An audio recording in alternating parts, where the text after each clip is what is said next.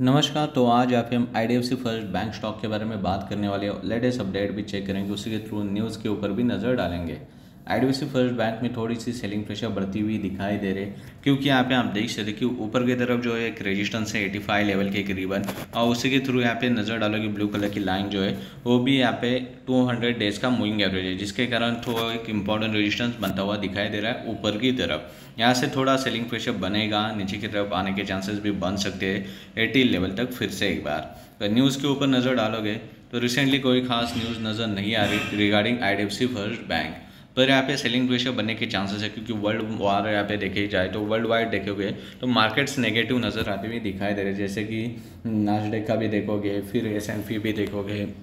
यहाँ पे थोड़ा सेलिंग प्रेशर बढ़ता हुआ दिखाई दे रहा है इन मार्केट के अंदर। उसकी वजह से डो जांस भी यहाँ पे डेढ़ परसेंटेज तक फ्राइडे के दिन गिरावट हो चुकी थी। इस सब का असर जो इंडियन मार्केट पे भी मंडे के दिन देखने को मिल सकता है। तो ये the latest update I D F C first bank के लिए।